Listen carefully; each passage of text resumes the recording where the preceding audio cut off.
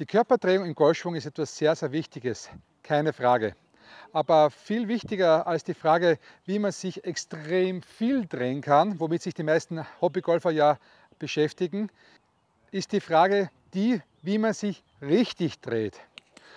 Und ich habe da ja vor kurzem bereits ein Video gemacht über etwas, was ich als wichtiger empfinde als die Körperdrehung an sich, nämlich die Seitkippung im Golfschwung. Und da habe ich hier unten in der Beschreibung einen Link dazu, das solltest du dir unbedingt anschauen, dieses Video, damit du den Zusammenhang mit diesem Video dann perfekt verstehst. Aber heute spreche ich nicht über die Seitkippung, sondern über die Streckung im Golfschwung, über das Aufstehen.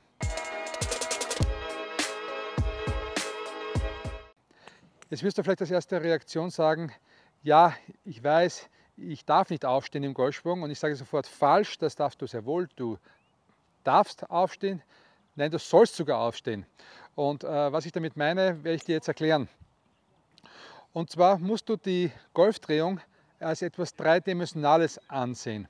Und zwar, wir haben im Golfschwung natürlich eine Rotation, wir haben im Golfschwung auch eine Seitneigung, das heißt eine Kippung nach links im Aufschwung und eine Kippung nach rechts im Durchschwung. Aber es gibt auch eine Streckung, eine Extension. Das heißt, wenn ich jetzt nach vorne geneigt bin hier, sagen wir zum Beispiel jetzt 40 Grad mit dem Oberkörper hier, dann wäre es sehr, sehr typisch, dass ich diese 40 Grad von Setup bis in den obersten Todpunkt komplett auflöse. Das heißt, es ist sehr, sehr typisch, dass gute Spieler von 40 Grad, sage ich jetzt als Hausnummer, auf 0 Grad kommen im Aufschwung. Und das ist das, was die guten von den schlechten Spielern unterscheidet. Jetzt wirst du sagen, ja, warum schaut es da nicht so komisch aus, so, so irgendwie? Ja? Das liegt daran, weil man ja eben diese 40 Grad Streckung mit 40 Grad Seitneigung nach links als Rechtshänder ausgleicht und dann bekommt man einen Look, dass der Schwung so aussieht. Jetzt wirst du denken, na Moment einmal, ich bin gar nicht aufgestanden, doch bin ich schon. Jetzt, schau, jetzt gebe ich nur die Füße ein wenig anders hin. Und schon siehst du, mein Oberkörper steht ganz aufrecht da. Ich befinde mich auch in der Links-Seitneigung. Und das ist das, was alle guten Golfspieler machen. Jetzt würden vielleicht ein paar, die vielleicht interessiert sind, sagen, ja, das ist ja Stack and Tilt. Mag sein, dass Stack and Tilt das unterrichtet, keine Frage, aber das ist trotzdem etwas, das alle guten Golfer machen. Das ist nicht Stack and Tilt, das ist etwas, was alle guten Golfer machen.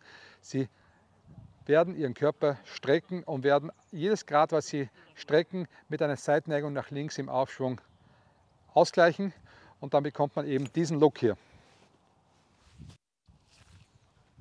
Ich stelle mich nur jemand anders hin, dass du es besser sehen kannst. So was würde passieren, wenn ich das nicht machen würde. Sagen wir zum Beispiel, ich würde jetzt hier nach vorne geneigt bleiben.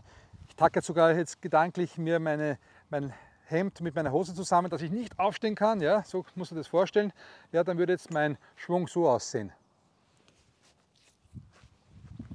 Also immer noch nach vorne getackert. Ähm, dadurch entsteht folgendes, dass der Kopf extrem stark nach rechts geht. Und das ist der Grund, warum die meisten Hobbygolfer Probleme haben, den Boden auf der richtigen Stelle zu treffen und meistens zu weit rechts sind. Das ist der Grund, warum sie ihren Druck nicht früh genug nach links bekommen, weil eben die Wirbelsäule mit zu viel Neigung nach rechts ausgerichtet ist im Aufschwung. Und das passiert hauptsächlich deswegen, weil die meisten versuchen eben nicht aufzustehen.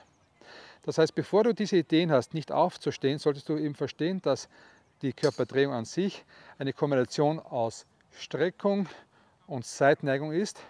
Und dazu möchte ich dir jetzt eben eine kleine Übung zeigen, damit du das besser verstehst.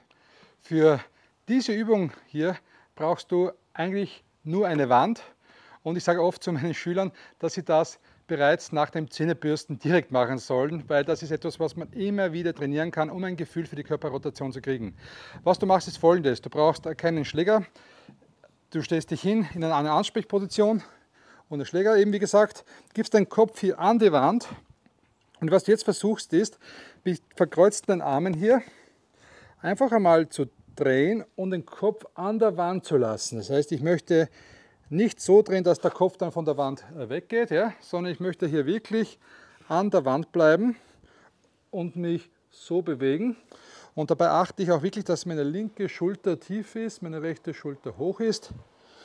Und wenn ich das dann richtig mache, dann bekomme ich eben ein Gefühl für die richtige Körperrotation. Ich kann dann mal die Hände hier dazugeben.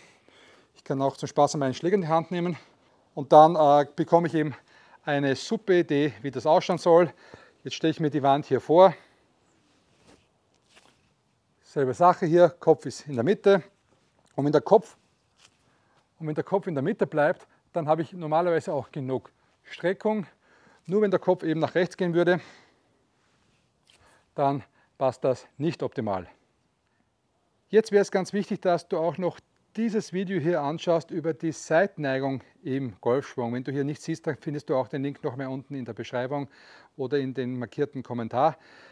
Das ist sehr wichtig zu verstehen, damit du eben die Körperdrehung perfekt verstehst und wir sehen uns dann hoffentlich gleich drüben. Tschüss!